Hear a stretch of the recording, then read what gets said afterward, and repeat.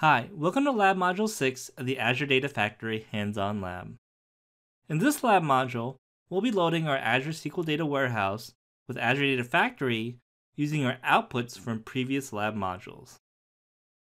Let's talk a little bit about our data warehouse structure so that the lab steps have some context. The Azure SQL Data Warehouse deployed in Lab Module 1 creates several dimension tables and a flight fact table. This takes the star schema approach, and each flight in our flight fact table relates to our dimensions by the surrogate key. Our dimensions include the airline of the flight, the plane information gathered from our Hive query, the date of the flight, and the airport of both the origin and destination of the flight.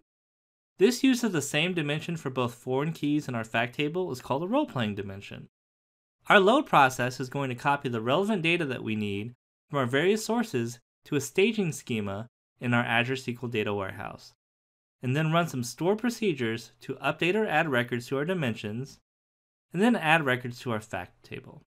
We will be gathering data from our Azure SQL Operational Data Store database, and flat files in our Azure Storage Container that contain output from previous labs, including weather data and FAA aircraft data. Our stored procedure to load our dimension is updating each column and in a Kimball approach, this would be called a type 1 update. The logic in the stored procedure could also be written to handle type 0, which are no updates, or type 2, where you would end-date the previous record and add a new one based off of certain columns.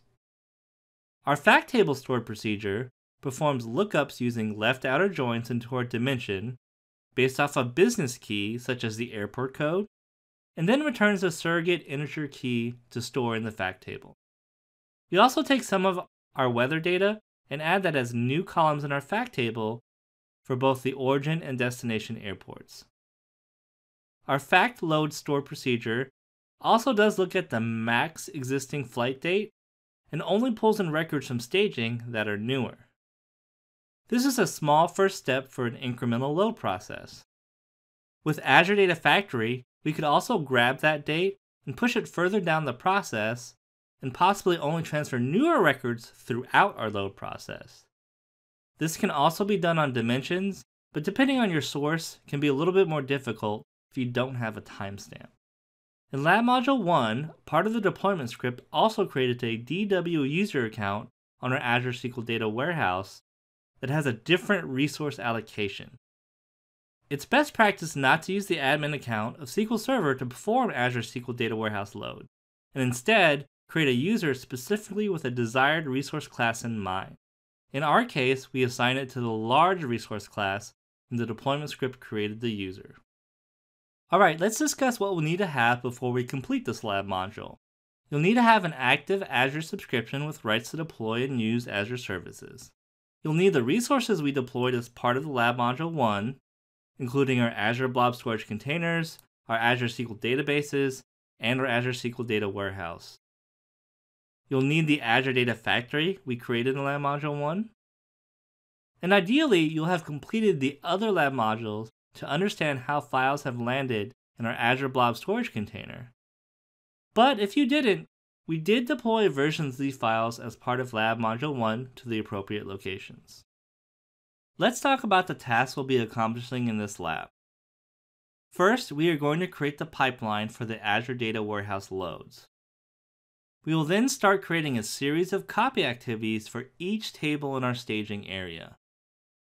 The first set of copy activities are going to grab information from our Azure SQL Operational Data Store database and land them in our Azure SQL Data Warehouse staging schema.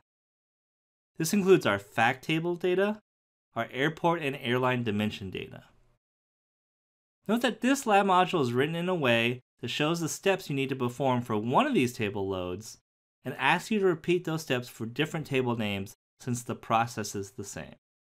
After we configure our ODS to staging copies, we'll be configuring a series of Azure Blob Storage to staging copy activities.